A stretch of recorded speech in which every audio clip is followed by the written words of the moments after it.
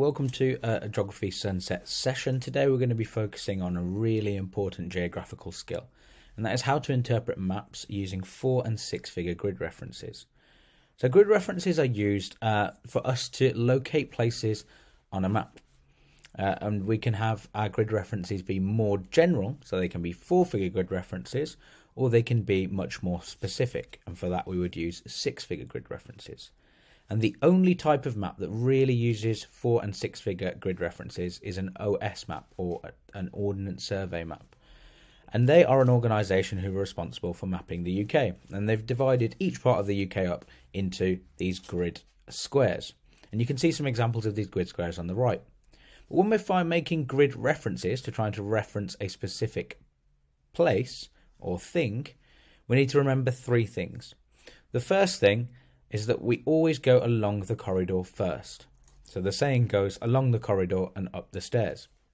What I mean by that is uh, we always go along the corridor or find our eastings first. They're called eastings because they run east to west. So when we're given a grid reference, we're always going to be going uh, along the corridor or finding our easting first. So it could be 01, 02, 03, 04, and 05. The next rule is once we've found our easting, we always find our northing. Or once we've been along the corridor, we always go up the stairs. So that's when we find our northing. It's called a northing because it runs north to south. So once we've found out whether our grid reference is going to start with 01, 02, 03, 04, etc., we then need to find out if it's going to end in 77, 78, 79. So we go along the corridor and up the stairs. And the final bit is that we always take the bottom left hand corner. So let's say, for example, I'm interested in giving the four figure grid reference for this museum. Now, the box the museum is in, you can see it outlined in blue just here. So it's this blue one here. But I'm always interested in the bottom left corner of that box, not the top left, not the top right, not the bottom right. Always the bottom left. So that's really important to remember the bottom left. So if I'm trying to find the museum, it's in this box. I know I'm interested in the bottom left corner. I'm interested in this corner. So then I just need to follow my rule. So for the four figure grid reference, I just need to go along the corridor. And I can see the bottom left corner lines up with 0, 03.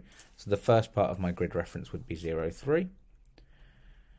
And then I need to go up the stairs. And the bottom left corner aligns with 7, 8. That's where I'd stop. So then my four figure grid reference becomes 0, 03, 7, 8. So we're going to look at an example from a real exam. So this says, study figure 3, uh, an ordnance survey map showing part of Liverpool, a city in the UK. And I'm just going to jump across, across the screen uh, so that you can fully see the question. I'm sorry the maps are very uh, not uh, particularly clear. Um, but for the purposes of what we're going to do, we don't need it uh, to be that clear. So it says give the four. Uh, so it says study figure three a uh, 1 to 25,000. That's just a scale. So every uh, centimetre uh, on this um, map represents 25,000 centimetres in real life. Ordnance Survey map, so we know it uses grid lines, uh, showing part of Liverpool, a city in the UK. This area X and Y show two areas of urban regeneration. I can see area X and area Y just there. And it says give the four figure uh, four figure grid reference for the Albert Dock. So uh, the Albert Dock is a is a tourist attraction. Uh, there's lots of shops and restaurants there. It's a very important old industrial dock in um, Liverpool, and I, you can see it represented by a star just here. So first, we're going to find the four-figure grid reference. So when we talk about the four-figure grid reference, remember, as long as we follow three rules, we'll be okay. We need to find the easting first, the northing uh, second, and those are for the bottom left corner. So if we have a look at the square that this uh, is in. We can see this is the square here. So we want the bottom left corner. So we are looking for the four-figure grid reference for this square here.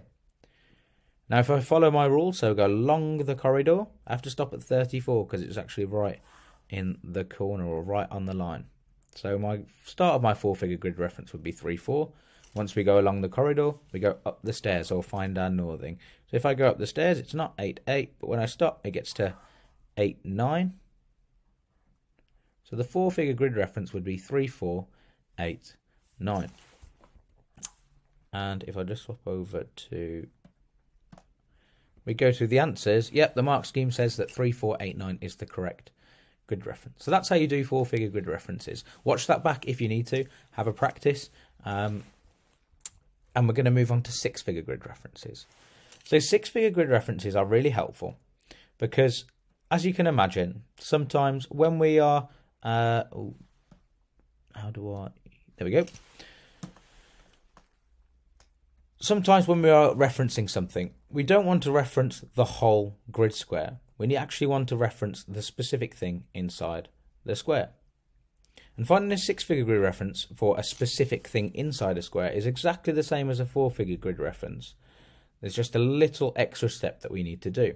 And that little, little extra step splits each square into a hundred little squares like this. So there's 10 along uh, your eastings and 10 along your northings. And you can see them here. So 1, 2, 3, 4, 5, 6, 7, all the way 10 little squares. So every square is divided into uh, more smaller squares. So let's have a look at an example of how that works. So it says study figure 6, a 1 to 50,000 ordnance survey map. So every centimetre on this map represents 50,000 centimetres in real life of an area to the east of Sheffield, a city in the UK. And it says using figure 6, give the six figure grid reference for the centre of the motorway junction. So if we have a look at uh, the map, we can see that the motorway junction is just here. And remembering our three rules, the bottom left corner is just here. But we're looking for a six figure grid reference, so we've got to find out where that extra number is going to come from. So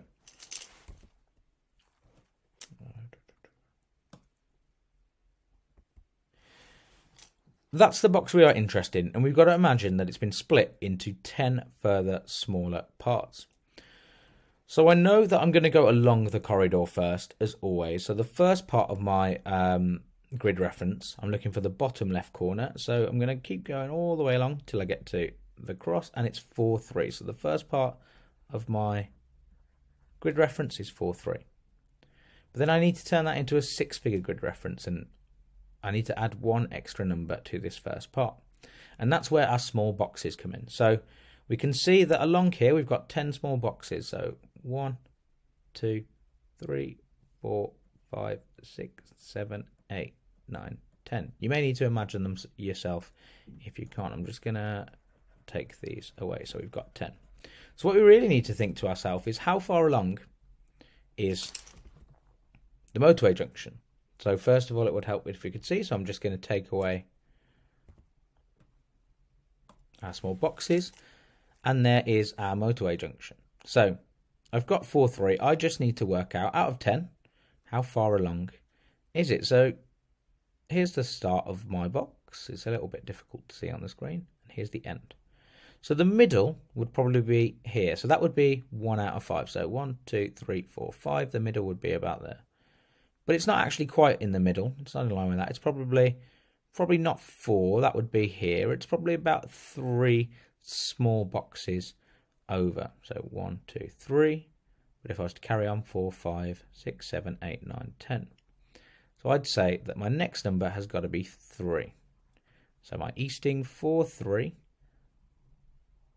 One, two, three. Yeah, I'd probably say it's about three out of ten boxes across. Mm. And then I'm just going to do exactly the same thing going upwards.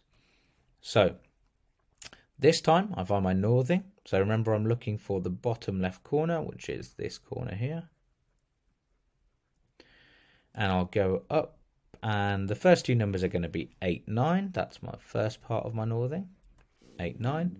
And then uh, I've got to work out between this box, so 8, 9 and 90, how many uh, how many boxes I think it might be. So I think halfway would be there. So we've got one, two, three, four, five. That'll be halfway. Six, seven, eight, nine, ten. My motorway junction is about here.